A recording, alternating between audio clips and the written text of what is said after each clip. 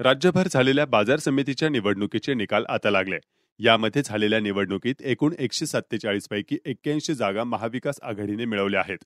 तर अठ्ठेचाळीस जागी शिवसेना भाजपने विजय मिळवलाय राज्यात झालेल्या सत्ता बदलानंतर बाजार समितीचे राजकारण देखील तापलेले होते.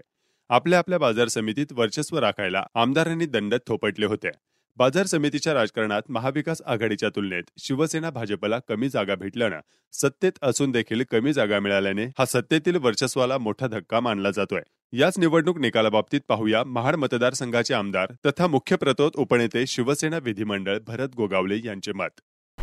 वर्चस्वाचा सवाल तसा नाही आहे त्याचं कारण असं आहे की गेल्या अनेक वर्षापासून सहकार क्षेत्रामध्ये या काँग्रेस राष्ट्रवादीचा पगडा आहे. आपल्याला सगळ्यांना माहिती आहे. पश्चिम महाराष्ट्र विदर्भ मराठवाडा उत्तर मराठी हे सगळे त्यांचं सहकाराचं जाळं आहे. आणि त्या सहकाराच्या जाळ्यामधून ह्या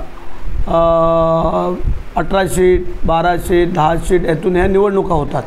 आणि त्यातून हा मिळाला त्यांचा विजय आम्ही तो मान्य करतो आहे परंतु आम्ही पण तिथं बऱ्यापैकी गेलेलो आहोत.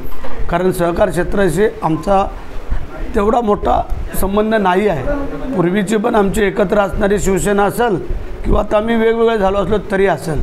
फार मोठा सहकार क्षेत्राशी आमचा संबंध नसल्यामुळे परंतु बी जे पीचा संपर्क यांनी बऱ्यापैकी पुढे गेलेले आहेत. त्या पाठोपाठ आम्ही आहोत. आणि ठीक आहे आता आम्हाला ती आयडिया कळलेली आहे. आता आम्ही पुढं बघू कसं काय करायचं.